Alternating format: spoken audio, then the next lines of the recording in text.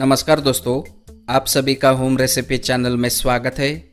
आज मैं आपको मूंग दाल से एक बढ़िया मुलायम नाश्ता बना के दिखाने वाला हूँ, जिसे कि देखते ही आप बनाकर खाएँगे, इतना टेस्टी लगता है ये। तो फिर चले दोस्तों, बनाना शुरू करें। तो यहाँ पर हम सबसे पहले आधा कप मूंग दाल लेंगे और बाद में इसमें काफ़ी सारा पानी डाल देंगे, ताकि इसे हम धो भी सके और ये भीग भी जाए। तो इसे हम दो घंटे भिगो कर लेंगे। तो इस बीच के समय में हम इसके लिए तड़का बना लेते हैं। तो उसके लिए मैंने तड़का पैन में एक बड़ा चम्मच तेल डाला है और तेल गर्म होने के बाद आधा चम्मच राई डालेंगे।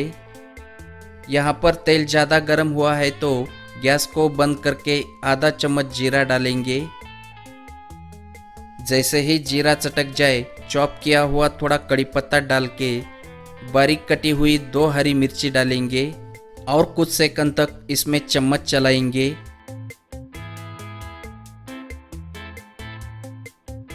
ये देखिए, हमारा तड़का बनके तैयार है।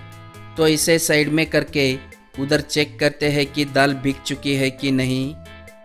ये देखिए, दो घंटे में हमारी दाल थोड़ी सी भीग चुकी है। अभी इसमें से पानी निकाल के मूंग दाल को मिक्सी के जार में डालेंगे।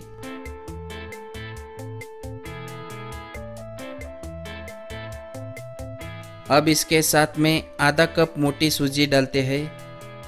अभी डालते हैं एक अंडा। आप अगर वेजिटेरियन है तो अंडा स्किप कर सकते हो, या फिर अंडा खाने के शौकीन है तो एक से दो अंडा डाल सकते हो।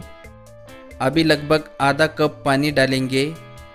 इसे हमें अच्छी तरह पीस कर इसका स्मूथ बैटर बना लेना है। ये देखो, ऐसे पीस लेने के बाद इसे एक मिक्सिंग बाउल में ट्रांसफ़र करेंगे। आप देख सकते हो कि हमारा बैटर एकदम स्मूथ बना है। अब इसमें डालते हैं जो हमने तड़का बनाया था उसे। अभी स्वादानुसार नमक डाल के आधा चम्मच रेड चिली फ्लेक्स डालेंगे। आधा चम्मच काली मिर्च पाउडर डालते हैं। और थोड़ा हरा धनिया डाल के इसे अच्छी तरह मिला लेंगे, ताकि इसमें डाले हुए सारी चीज़ें अच्छे से मिक्स हो जाए।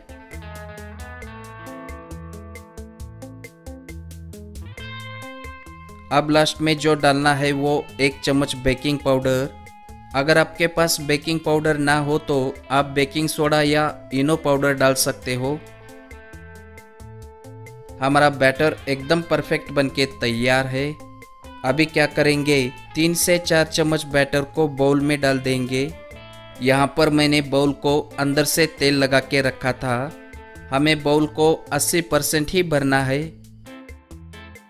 अभी इन सभी के ऊपर थोड़ा सफ़ेद तिल डालेंगे।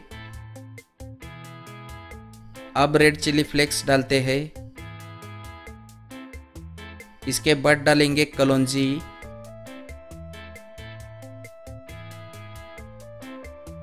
अभी एक एक बाउल को उठा के स्टेनर में रखेंगे, क्योंकि हमें इसे स्टीम जो देना है। अब चलते हैं दोस्तों किचन की ओर। इधर मैंने स्टीम देने के लिए, पानी को गर्म होने के लिए पहले से ही गैस पर रखा था। अभी इसे ढककर लगभग सात से आठ मिनट तक स्टीम देंगे। आठ मिनट के बाद आप देख सकते हो कि ये बढ़िया फूल चुके हैं। ये देखो स्टिक पे गीला बैटर बिल्कुल भी नहीं चिपका, यानी कि ये अंदर से भी अच्छी तरह पक चुके हैं। तो इसे हम थोड़ा ठंडा होने देंगे। और ठंडा होने के बाद मैं आपको एक निकाल के दिखाता हूँ। इसे बना के आप, आपकी मनपसंद चटनी के साथ या बिना किसी चटनी के भी खाएँगे तो ये टेस्टी ही लगेंगे। ये देखिए, ये बहुत ही आसानी से निकलता है। तो आज की यह रेसिपी पसंद आई हो तो इस वीडियो को लाइक और शेयर ज़रूर करें और चैनल को भी सब्सक्राइब करना ना भूलें।